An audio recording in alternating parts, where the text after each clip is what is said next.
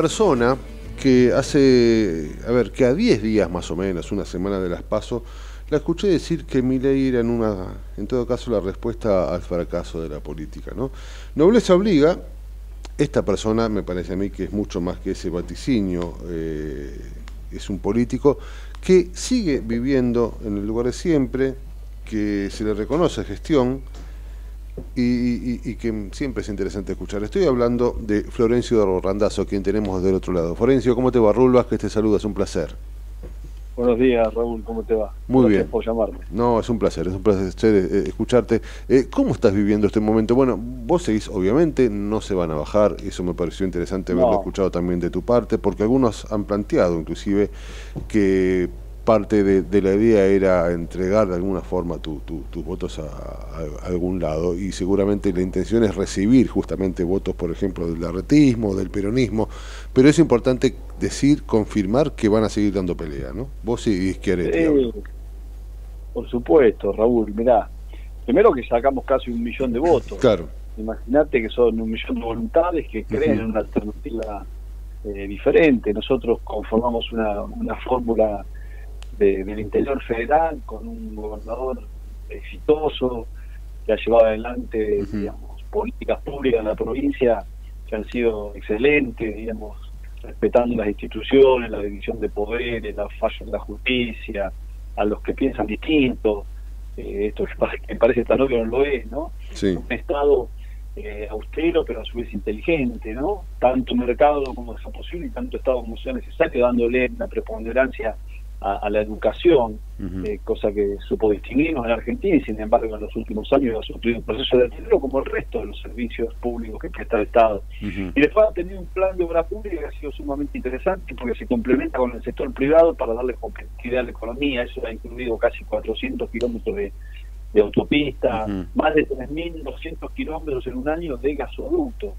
Está claro, acá el Gobierno Nacional acaba de inaugurar 600 kilómetros en 7 años.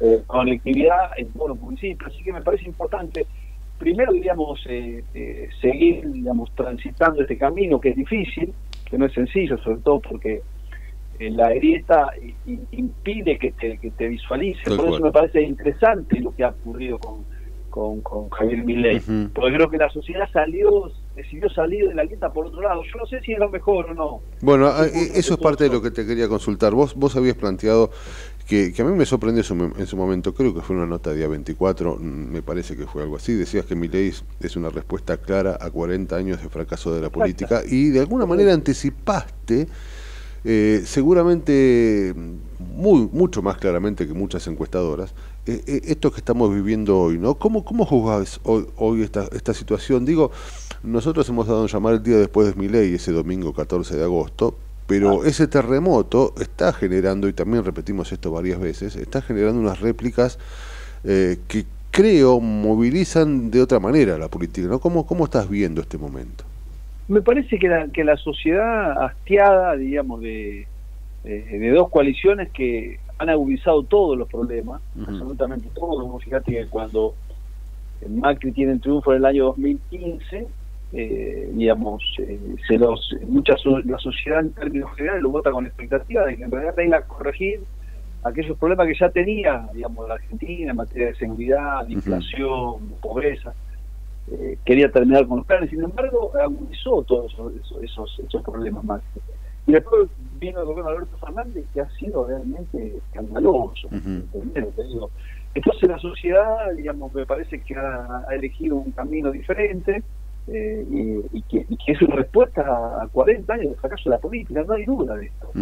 Acá, independientemente, por supuesto, de que la democracia para nosotros es el sistema que decidimos vivir, que queremos ese sistema, que es la posibilidad de votar, que es la posibilidad de expresarnos en libertad, sabiendo todo, la, historia de la Argentina es la democracia también es vivir mejor, es vivir más seguro, es tener una economía estabilizada que nos permita proyectarnos, que nos permita progresar. también era aquello, Florencio, Florencio, también era aquello que alguna vez nosotros escuchamos, teniendo más de 50 años, que la democracia era aquello con lo que se comía, se curaba, se educaba. Eh, Exacto, mentira. exactamente. Bueno, yo lo sé decir a eso, es justo no es una síntesis muy buena, mm. eh, que que decía Ramón Alfonsín, con la democracia se come, se educa y se cura. Pero bueno, eso no fue así. Sí, tal vez no es mentira, me equivoqué, tal vez no es mentira, pero sí está claro que no, no, no anduvo. Exactamente, pero fíjate vos que el sistema político, eh, por eso yo me siento fuera del sistema hace años, mm. se mira se mira el ombligo y busca la responsabilidad en quienes votaron a Milei y en Milei. No, Milei es una respuesta a eso. Es una sociedad que ya dice, ya no tengo más nada que perder, no me vengan a asustar, porque fíjate que ahora están haciendo una campaña del miedo. Más miedo del que se vive hoy, cualquier tipo. Yo vivo en un barrio, ¿entendés? Y hace años que dejamos el auto afuera, que uno vive con cámaras, que ¿entendés? Que está que vivir preocupado si tus pibes salen. Sí. Eh, ¿Entendés lo que digo? Es, 25 años, viviendo en un barrio abierto. Sí, sí, sí, sí. Plantean como si fuera el miedo, como si el miedo hubiera nacido antes de ayer. No hay miedo, tenemos hace mucho en este país, lamentablemente. Entonces me parece a mí que esa ha sido la respuesta de cualquier manera, vuelvo a repetirte, nosotros insistimos en una alternativa diferente. Yo creo, eh, digamos, eh, que la mejor política es la, buena gestión, que es la que mejora la calidad de vida de la gente. Creo que Argentina, digamos, con, con, un puñado de gente con sentido común, con sentido común, con siendo racional y honesto, la Argentina puede transitar un camino diferente, donde recobre la, la, digamos, la, la, cordura de la Argentina. ¿Cómo puede ser, por ejemplo, que la Argentina vaya a tener este año 200% de educación? ¿Pero dónde se vio? Y arriba se lo vende al ministro más como si fuera El Salvador. Sí, sí, sí, sí, sí. es increíble. escúchame, entonces ahí viene una cosa que dice, que dice, que dice Javier Milei, que no está tan equivocado. Cuando habla de periodistas ensobrados, cuando habla de los adictos a los hombres, cuando habla de la descomposición moral que tienen determinados sectores de la Argentina, que por supuesto no hay que generalizar, pero eso existe. Entonces, a mí me, preocupa, digamos, yo estoy convencido que la Argentina tiene que confiar, Raúl. ¿Entendés? La inflación se resuelve como la resolvió el resto del mundo. Bolivia, ¿te gusta? La Bolivia democrática tiene 3% de inflación. Sí, sí, sí, sí, Los ejemplos los tenemos acá al lado, tal cual. Uruguay, Chile, Colombia, lo que vos quieras. Te tenés que ir a Francia o a Italia. O Sí, sí, sí, sí, gente como nosotros. El uruguayo es lo más parecido a nosotros y, viven con una inflación que, que, es una maravilla al lado de lo que... es eh, inferior anual de la que Argentina va a tener mensual este mes. exactamente, exactamente. Entonces todo un desaguisado permanente, todo un desaguisado permanente, es promesa más promesa, anuncio más anuncio que te va evaporando el proceso inflacionario entonces no hay posibilidad de discutir la ley de alquileres, no hay posibilidad de acceder a un préstamo, no hay posibilidad de proyectarse, los pesos te queman en la mano. Entonces culpamos a aquellos que en realidad quieren comprar dólares. No, muchachos. No, muchachos. Si la Argentina tiene un producto, interno afuera en dólares afuera, es porque precisamente los gobiernos han sido poco confiables. Exacto. Sí, que habla quien no tiene plata fuera para Argentina. Yo le invierto en Argentina. Soy un emprendedor de, uh pibe y tengo en Argentina todo lo que tengo. Sí, sí, sí. Es, eh, eh, es así. Y hay una cuestión que es muy, muy interesante respecto de, de este gobierno, ¿no? Primero que sigue siendo, no sé si estamos dormidos aquí, pero sigue siendo increíble lo que han hecho con el peronismo. Y esto te lo pregunto a vos como parte del peronismo. Digo, eh, yo siempre, creo que la última nota que te hicimos lo comentaba yo también, yo siempre planteo de manera, si se quiere, graciosa y hasta, lo digo con todo respeto, ¿eh? son parte del peronismo perdonable, el peronismo más este, tradicional, más este, histórico. Digo, lo que han hecho con el peronismo, más allá de la ideología, es sinceramente increíble, porque hoy cualquiera plantea que Massa y toda su gente es, peronismo, y, y, mirá dónde nos ha llevado ese pensamiento, ¿no? Pero no representan el peronismo Está claro, el kirchnerismo es un grupo de fundamentalistas con poca visión de lo que pasa en el mundo y con cero gestión. Eh, y tienen como política central la asistencia de la exclusión, la bolsa de alimentos y los planes.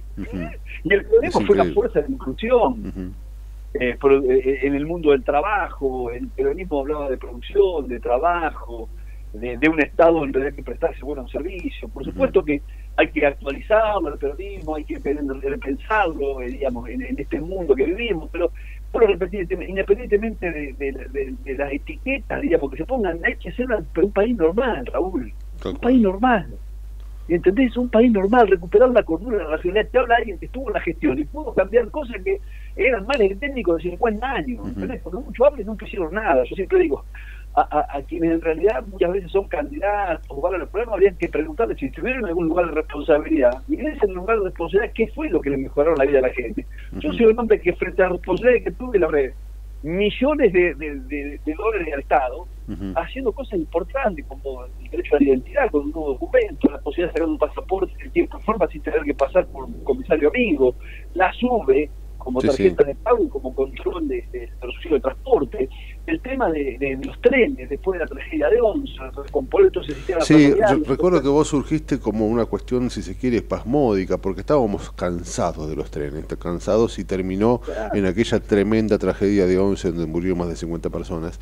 Eh, es como, viste, que en la Argentina siempre hace falta un, algo tremendo para que digamos, che, esto para no funciona y, surgiste como eso y, allí se empezó a, valorizar un poco la gestión, ¿no? Por sobre las palabras, que creo que era parte del kirchnerismo.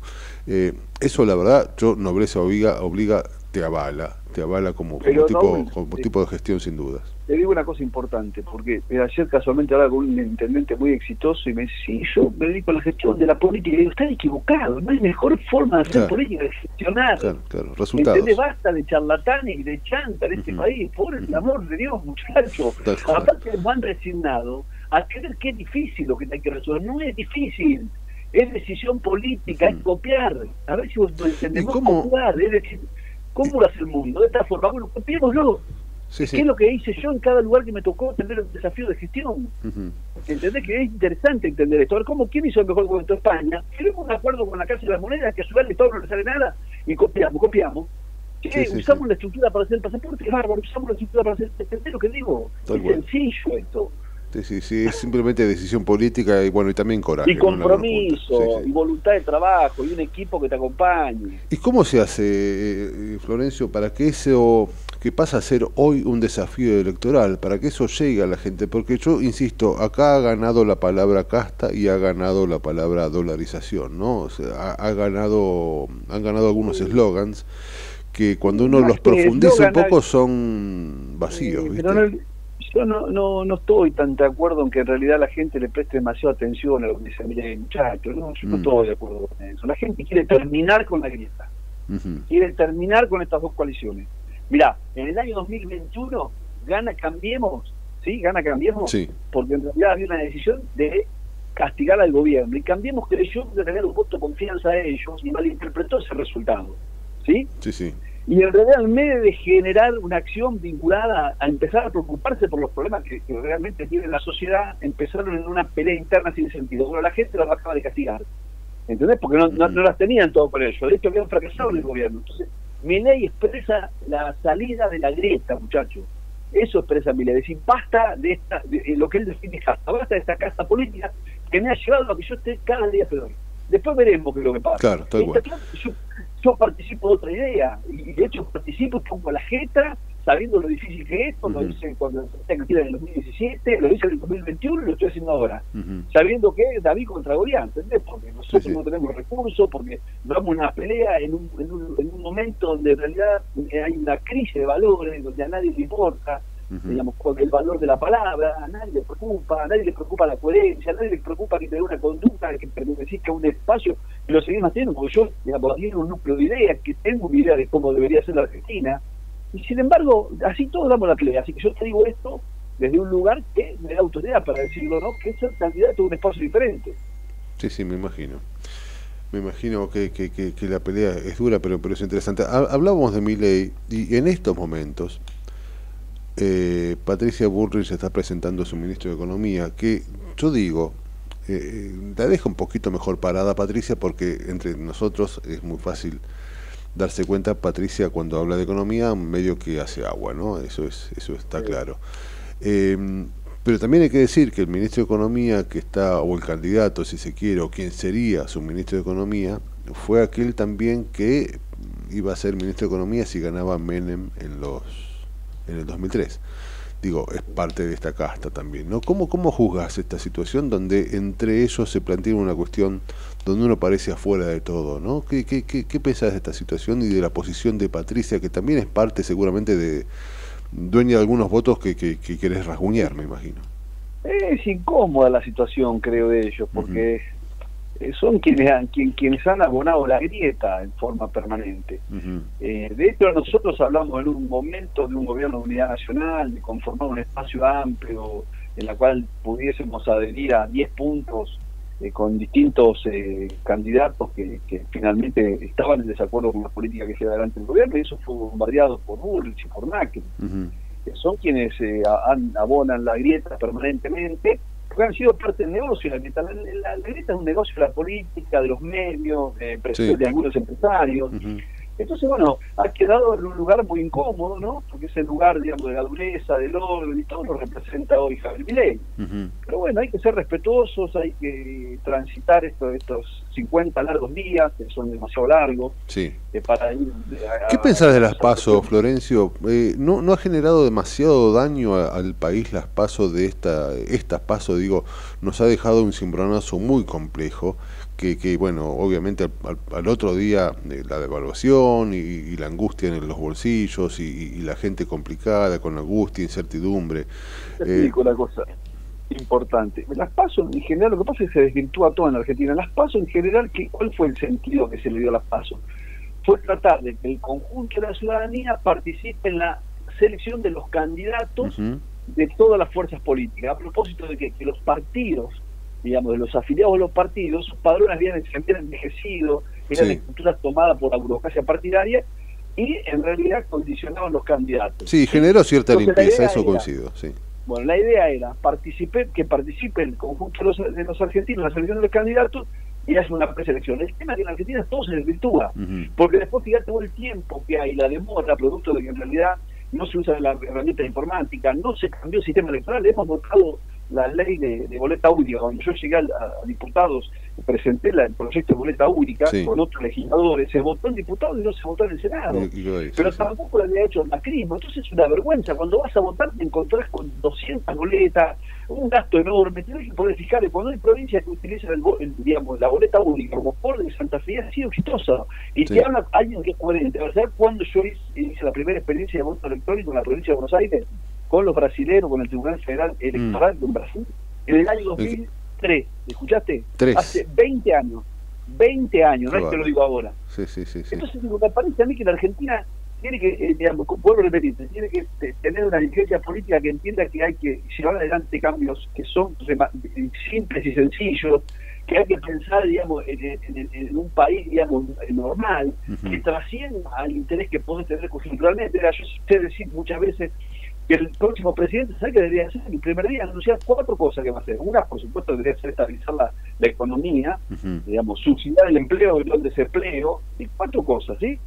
Determinar cuáles son las prioridades del Estado. Para mí las cuatro prioridades del Estado son educación, salud, seguridad y justicia, y un plan de infraestructura eh, importante que debe competitividad la economía, y decir que en cuatro años se va, que en cuatro años se va para y cumplirlo, y cumplirlo, sí, sí, ¿Eh? sí, y cumplirlo. Exactamente, para poder tomar decisiones que tal vez en la coyuntura electoral no son entendidas, pero van a ser entendidas en el paso del tiempo. Entonces un dirigente tiene que pensar cómo lo va a recordar la historia, no la coyuntura. ¿Entendés? Vos fíjate lo que es Alberto Fernández, es una vergüenza. Ha deteriorado la figura presidencial. Sí, no, no, lo de Alberto, lo de Alberto ya casi no resiste análisis, pero al mismo tiempo, cuando uno dice no, no resiste análisis, es, es un tipo que está en otro lugar, que, que, que está absolutamente colgado, que no entiende, que, que, que no responde a las expectativas. Bueno, un montón de cosas, pero al mismo tiempo hoy es el presidente, lo cual lo hace más complicado todo. Está claro, pero te, aclaro una cosa, de este gobierno es responsable, el principal responsable de Alberto Fernández es Cristina Kirchner, puso un delegado, porque quiere seguir manejando el poder, que fue lo que hizo el año Sí, sí, sí, y le salió mal y ahora se, escondió. y Massa no es parte de este gobierno hace un año, que aparte cuando vos analizás los datos económicos de la gestión Massa, es escandalosa. Sin embargo, hay un relato abonado por los hombres que dice que menos mal que está Massa. Sí, sí, sí, sí coincido. Coincido absolutamente. En Argentina hay todo con humor porque si no te vuelves loco. Tal cual. así estamos, así estamos. Florencio, te hago, te hago la última y desde ya te agradezco muchísimo por, por este rato. ¿no?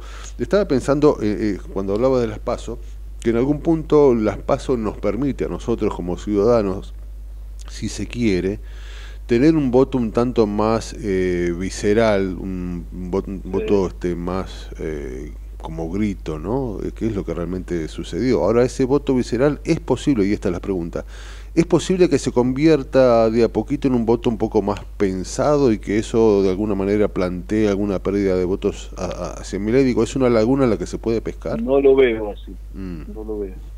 No lo veo. Nosotros apostamos a que haya un voto racional, nosotros somos tenemos una posición de, de centro, Sí. eh, creemos mucho en la gestión, decimos nosotros, ¿sabes qué decimos? La síntesis frente a ideas locas y recetas que ya fracasaron, votemos en sentido común y experiencia de la gestión, pero bueno, que es una buena síntesis, pero me parece que, que hay otra definición ya de parte de, de gran parte de la sociedad, no, hastiada por la grieta, Sí. hastiada por la grieta, que en la cual se la quiere asustar y no hay nada que lo asuste porque ya han, per- han perdido todo, ¿entendés? Han perdido la paz, la tranquilidad, bueno, fíjate lo que ha pasado la Avenida de la FINUR, Sí, sí, no, no, es tremendo, lo doy, lo doy, es, es- es- 42 es años, una más, apuñalado, che. es una más y es la, que parezcan normales. Tal cual, tal cual. Hoy, hoy decíamos lo mismo, estamos ya hemos naturalizado esto, que bueno, mañana veremos en qué esquina es, ¿no? Eh, Es como que pasa eso, ¿no? Y es tremendo. hemos naturalizado eso, hemos naturalizado que los pibes vayan a la escuela y no aprendan, hemos naturalizado que nos bajamos y no sabemos cuánto vale un kilo de hierba, si vale 1.600 puede valer 2.000, Sí, o sí, puede valer sí. 2.500, qué sé yo. Sí, sí, sí. ¿Entendés? Es- Nos hemos acostumbrado a un país de locos, por repetir, y es importante los que nos escuchan. Es muy, muy, muy, digamos, mucho más sencillo lo que se cree ir a un país normal, a un país normal, a un país de sentido común, donde nos respetemos, donde se- sepamos, mira, yo tengo una, una síntesis, que, una síntesis que es esto, que es un país normal, el que no trabaja no cobra, el que no estudia repite, el que dimite va preso. Como, como debe ser. Sí, sí, es increíble que esto que eso parezca difícil y que parezca lejano, sinceramente. Florencio, ha sido muy amable. Yo te deseo la, la mejor de las suertes y, y, por supuesto, ojalá antes de, de octubre volvamos a, a charlar un ratito más. Siempre es un placer. Bueno, Raúl, te mando un abrazo, que Gustavo se mejore. Sí, sí, le doy, le doy un saludo de tu parte. Te agradezco muchísimo, viejo. Gracias, querido, un abrazo. Enorme abrazo. Era Florencio Randazzo, candidato a vicepresidente de Hacemos por la Argentina junto a el cordobés Schiaretti, peleando contra tres gigantes. Veremos cómo resulta.